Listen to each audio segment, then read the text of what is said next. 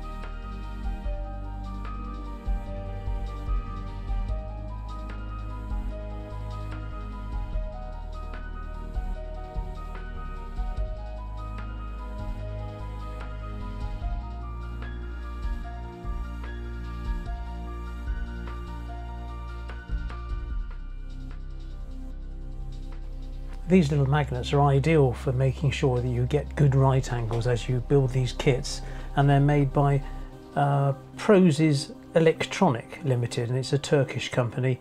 And if you try them out there at www.prozis.com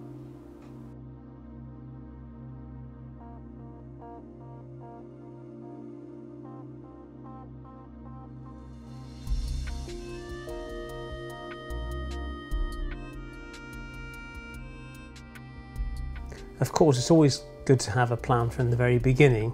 Um, and I thought of having this other little bridge as a foreground interest halfway through the design.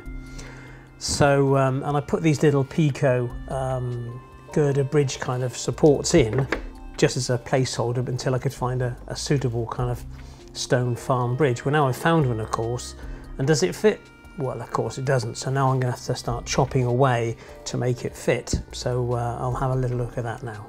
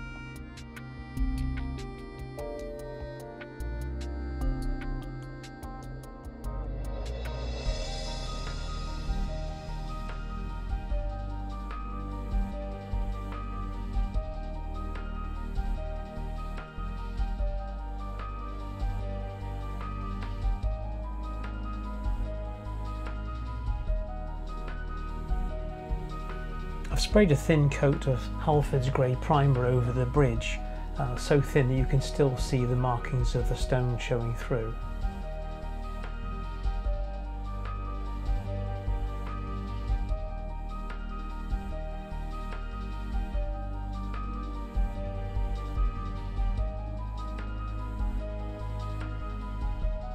To make it look as if the viaduct sits on concrete plinths, um, I used two pieces of balsa either side um, and jacked it up and then once they're painted in they'll look fine.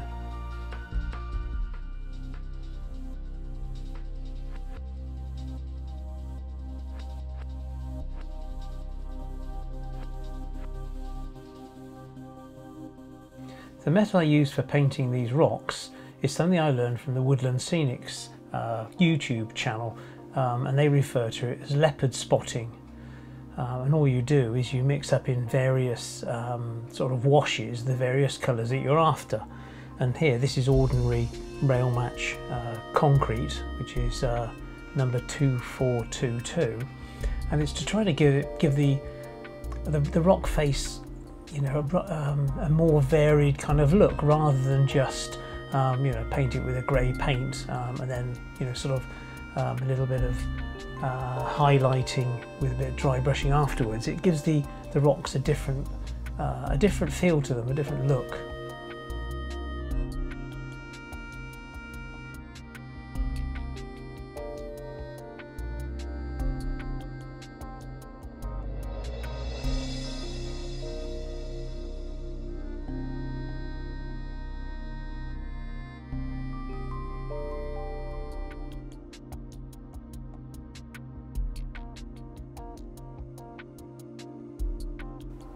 For the grey wash, I've used a Vallejo colour. It's 70.869 uh, basalt grey.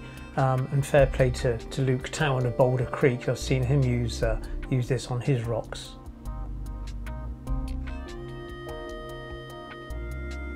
And again, I thinned it down to uh, uh, quite a weak wash, and it'll just run, you know, wherever it wants really. But it kind of um, it puts a put an accent finish really uh, onto the rocks. The great thing about it, of course, if you if you put too much on, you can kind of wash it off, or you can apply a bit more of the of the concrete. Um, it just kind of it, it just kind of works. It gives it that three-dimensional look.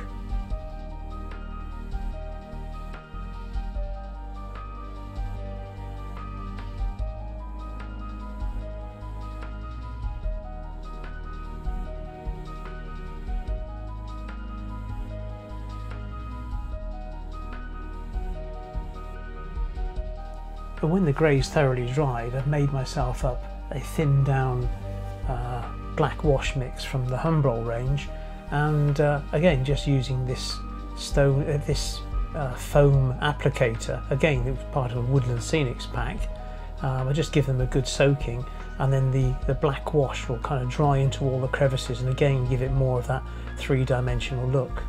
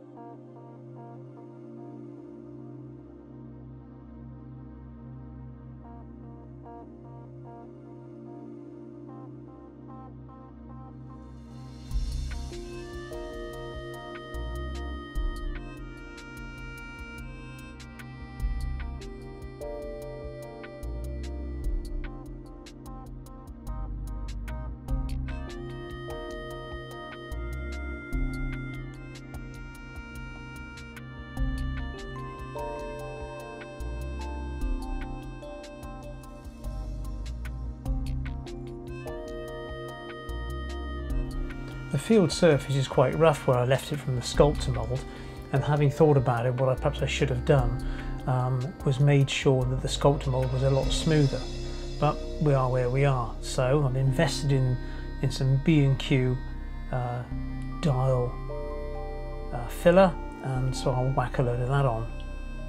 Hindsight's a wonderful thing and now I look back on this I can see that what I should have done is uh, decanted some of the filler into a different container and then um, added some paint to the filler so that the filler wouldn't be going on in white because eventually I want it to be grey so I should have just uh, mixed the paint in with the filler uh, before I put it on. As you can see this isn't the uh, isn't the cleanest of jobs I've ever done but well well it is what it is isn't it we get there in the end.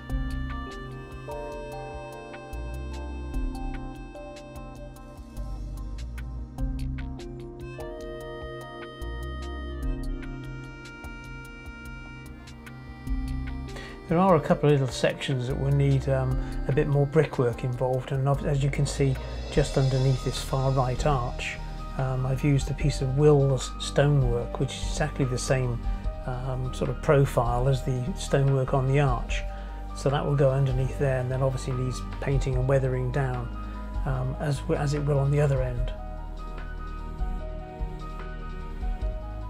I've always had an issue with uh, the sound that locomotives make. So what I've decided to do is to take off the the, the three millimeter cork and go for um, an underlay which I've used in the past and hopefully that will restrict some of the drumming sound of the locomotives going across the viaduct. And when I did a test fit I was worried that the actual bed of the viaduct would sag with two trains on it so I've inserted a piece of balsa underneath the roadway um, and hopefully that will stop it flexing.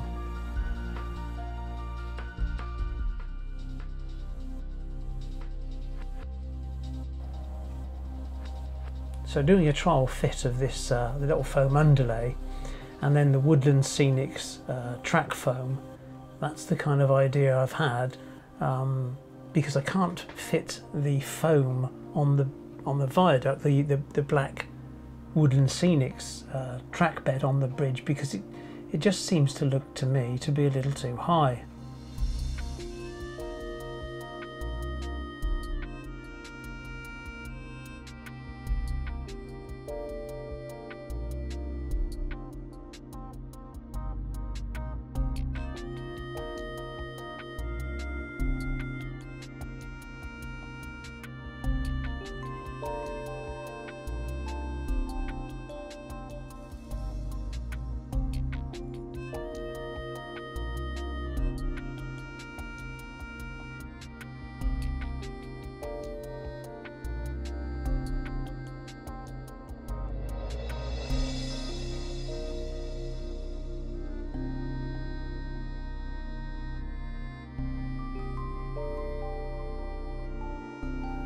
So here's an HST on the, uh, the track bed and there it's on the ordinary bed and you can see the difference. One looks considerably higher than the other.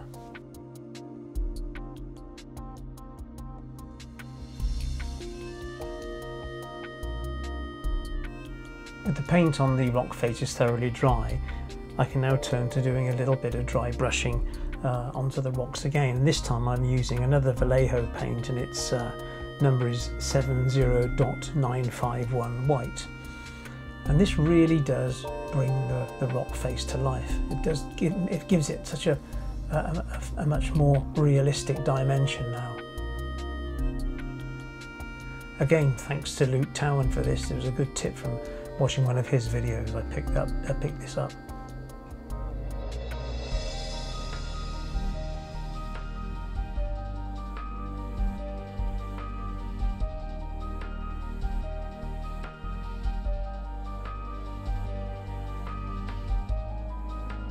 And using the same basalt grey that I used earlier I'm now painting in those concrete plinths uh, made from uh, the balsa wood. And then I'll also uh, start on the uh, the cliff edge uh, where it meet where it will meet the water and then put a line right uh, right along the whole of the um, of the water's edge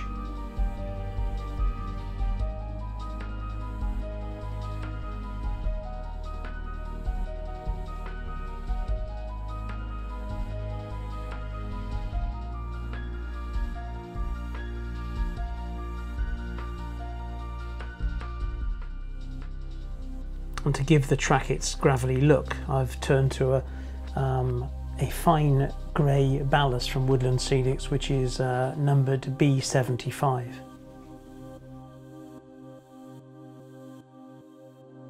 So after touching up the paintwork around the, the farm track, I thought I'll have a little look at which paint to use and which uh, gravel to use on the track. And I've obviously gone uh, for a Humbrol paint, another grey that I just had uh, kicking around. And its purpose really is uh, in case any of the gravel comes away that there, you won't be able to see the white underneath. And as I mentioned previously, if I'd used a grey filler in the first place or perhaps added some paint to the filler, uh, then this is a stage that I could have just missed out.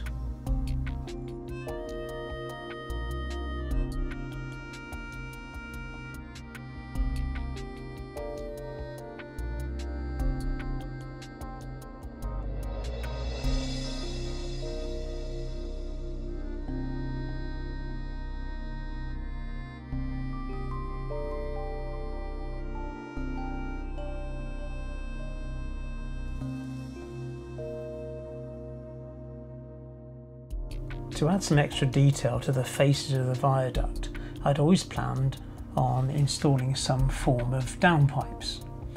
And so what I found at a model railway show from Plasti Strut is I've used a, uh, two millimeter length of uh, a solid round uh, Plasti Strut and also a three millimeter square box section and as luck would have it the 2mm slides into the 3mm box section and then I can use those as the kind of junction boxes of where the uh, downpipes would go one into the other and I can also use them then as a support.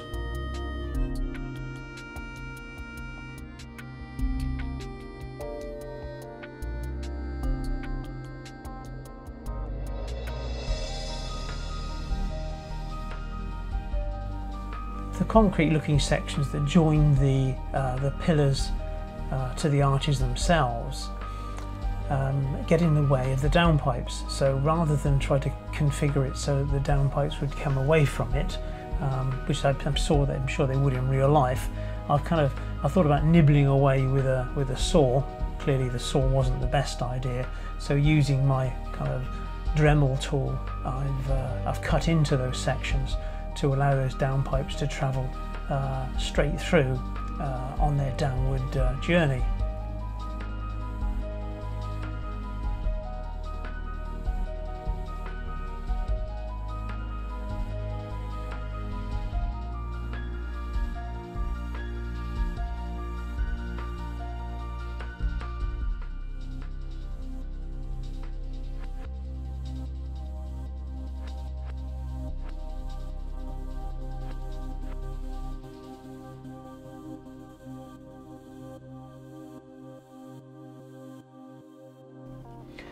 The downpipes also hide where the two archways join together. And it's a, it's a sort of a join I could never really uh, cover or paint or fill or whatever.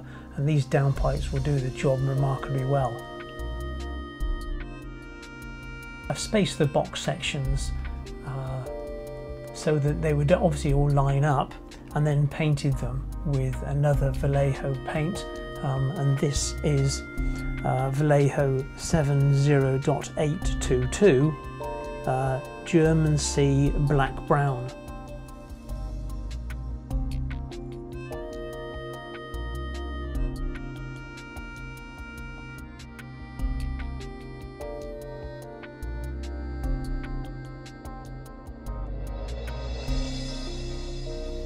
It kind of gives the downpipes a kind of a little rusty, rusty look to them.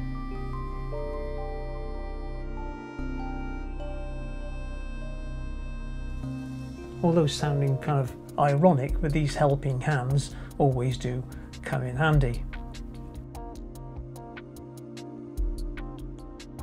And the following day, once the paint had thoroughly dried, I used good old Evo Sticks multi-purpose impact glue uh, to glue the downpipes to the viaduct. This is quite a stringy glue, so, so beware, but uh, rather than try to use um, a form of super glue. I've always liked this, uh, this Evo-Stik stuff. It is a very, very decent and strong glue as long as you don't get all the stringy bits everywhere.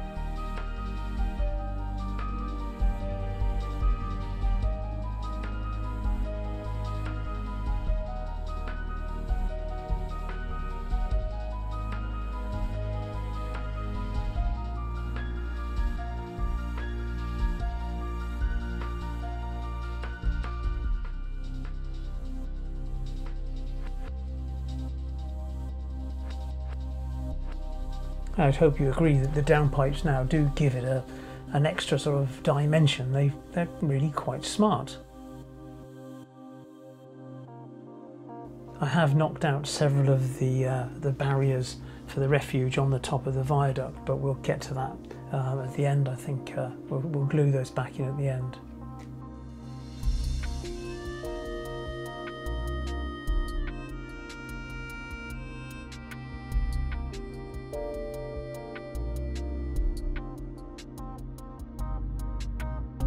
Turning now to the river, after touching up the edges again with some more of the, uh, of the basalt grey, um, I've then coated the, the centre section of the river with this uh, Vallejo 708 70.822 German Sea black brown.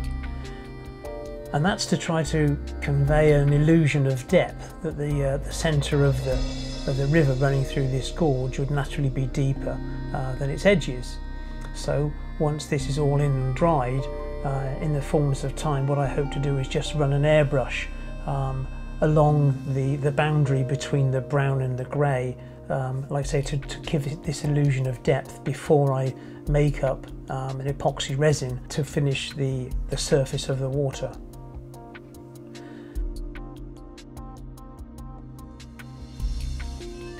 Well now we really are making progress because at long last the viaduct is glued in place and once more I use the Evo-Stik multi-purpose contact adhesive to hold that down.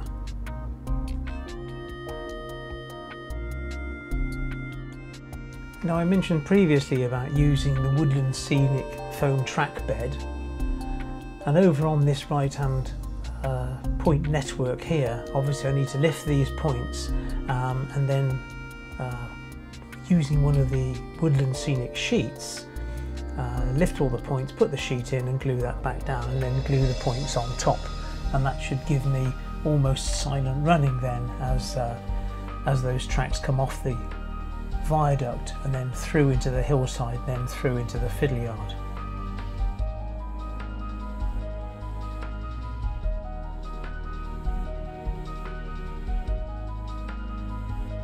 To ensure I get the right spacing across the viaduct, I've used the Peco 6 foot way gauge um, and I've nibbled off the end of it just so it fits between the walls of the viaduct and that will give me then the perfect measurement um, of my track across the viaduct.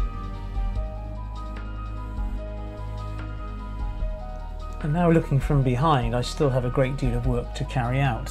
Obviously um, more of the, uh, of the foam needs to be cut and glued into place. I've made the rock faces from plaster and pre-painted those, but what I haven't done is, um, is done the dry brushing. I thought I'd rather do that once they're glued into place.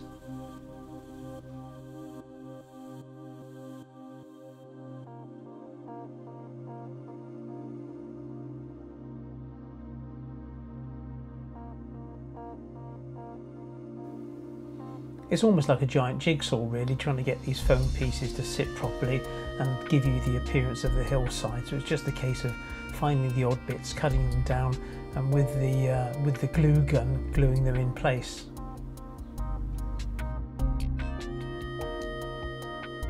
and then in time of course it will be time for the Sculptamold to come out again to do the landform and then paint it all up.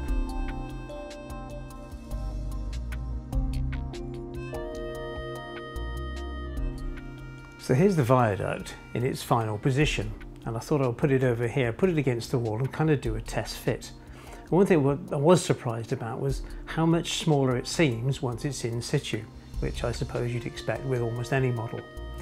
But what I've got to address now is uh, how it fits in with uh, both the hillside to the left and of course um, what I'm going to do over here on the right hand side.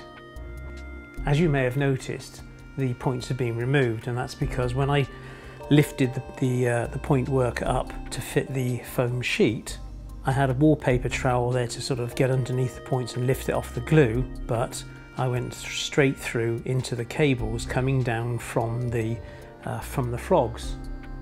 And here's one of the points in question and as you can see there's the frog cable but it's actually be bonded um, to these two pieces of track in there which are actually the two pieces of metal that make up, make up the frog.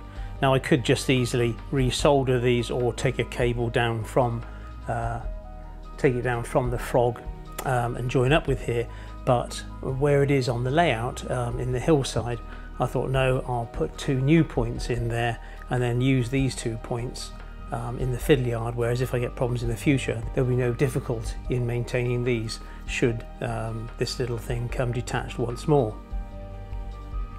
So now it's in position all I've got to do is make a few decisions on what's actually going to happen so I can integrate um, the viaduct board or as I'm calling now the sort of the gorge board um, into this hillside and then once this one's finished then I can start to think about the hillside where all the tracks will turn underneath the hill into the fiddle yard. So getting back over to this side, clearly what I need to do now is sort out what's going to go on in this corner. I think it's fair to say that there are kind of uh, two fields, as it were, on this side. Um, the field on the left hand side, I was kind of um, going to uh, use it for as a, as a sheep field, whereas the one on the right side would be more of a cattle field. And the reason I do that is because the fields would then be a different colour because sheep um, eat grass closer to the ground, whereas uh, cattle do it kind of differently, and cattle fields tend to be greener, so that way there will be some contrast between the two sides of the river. I've got some work to do up here. Now where you see the end of this uh, the, the large green hillside, um, I think I'm going to put in there a, a, small rock face which will then take it down behind the viaduct. And this uh, section here where you can see um, the plywood poking through, I'll just extend uh, the viaduct across there to cover that piece up with a similar piece of, uh, of Wills brickwork. Once that's complete, um, I need to fill in this little gap here with another piece of chipboard um, to make this to go, to go around here. The faces of the layout itself, these will be covered in MDF and then painted black, so they won't be such, a, such an eyesore. And then once that's complete, I can either then modify this hillside so it drops down into here sort of seamlessly, um, or perhaps rethink there um, what's going on with this one to make it all work and, and kind of come together. I've mentioned the road previously, I'm going to use a very fine ballast on the road and as regarding this, um, this uh, small uh, farm track bridge, um, the is still out. I really don't know if I'm going to keep it um, or what exactly I'm going to do with this, but we'll probably we'll just keep it in there as a, as a kind of a placeholder. I still can't decide um, whether whether it's suitable or not. So that's what I'm going to do next is to work my way down uh, this side of the of the, of the gorge as it were to make sure it mates properly with the existing layout um, and then obviously then start on this side but I've also got a great deal to do behind the, uh, the viaduct on the on the scenery there and then once that's complete I can then think about um, the exact nature of what I'm going to put um, on the fields. I need a fence that goes around here to protect the embankment and I might need a small fence at the top here um, to stop permanent waste staff uh, from falling down there so there should be some kind of a barrier there. Um, and then of course we go through the point network and then up onto the far side. And then the plan over on this side is this uh, track here will run in um, into the old Chadwick and then these three tracks here will then run on into a tunnel mouth and then this whole board will be covered in a huge hillside. Well, I think that just about wraps this one up and perhaps in a couple of weeks time you'll join me for uh, the Viaduct Scenery episode 3. It just goes on and on. If you've got any ideas that I can use regarding this, uh, this little road bridge, then I'd be very grateful. And if you've got any other um, ideas that might help me improve this, then please leave it in the comments below. And furthermore, if you've, of course, if you enjoyed this video, then I do ask you to leave a comment and perhaps you'd like to uh, share the video or give me a thumbs up um, to help promote the video. As per usual, I'd like to thank my patrons who um, help to support the channel. Um, nothing of, I've used here is given to me by any of the companies or whatever. I pay for, for everything, as I said, with the support of the patrons. Um, so thank you very much indeed. And if you'd like to subscribe, you know there's a button there and there should be a video here and here should you want to watch some more. You know you've got time. Thanks a lot, take care, and I'll see you in a couple of weeks. Bye-bye.